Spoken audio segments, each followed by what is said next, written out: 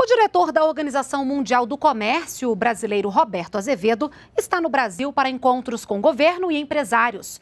Nós vamos falar agora ao vivo com o repórter Paulo La Salve, que tem os detalhes. Boa noite, Paulo. Olá, Renata. Boa noite. Boa noite a todos que nos assistem na TV NBR.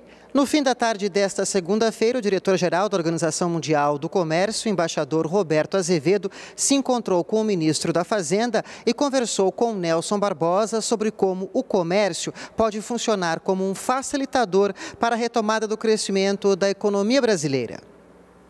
A ideia foi conversar sobre oportunidades, o que pode ser feito, qual é o futuro, como que a gente pode é, conversar e fazer com que o comércio, no fundo, seja um, um elemento a facilitar o desenvolvimento e a criação de empregos e não dificultar. E mais cedo, também nesta segunda-feira, o diretor-geral da OMC, embaixador Roberto Azevedo, abriu sua agenda aqui em Brasília com uma reunião no Itamaraty. Veja na reportagem produzida pela TVNBR.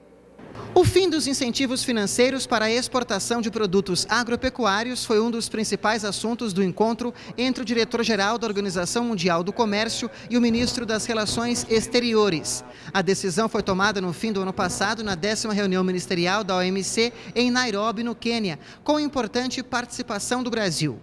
O diretor-geral da OMC, Roberto Azevedo, disse que na reunião com o chanceler Mauro Vieira também foram discutidos outros temas relativos ao comércio mundial.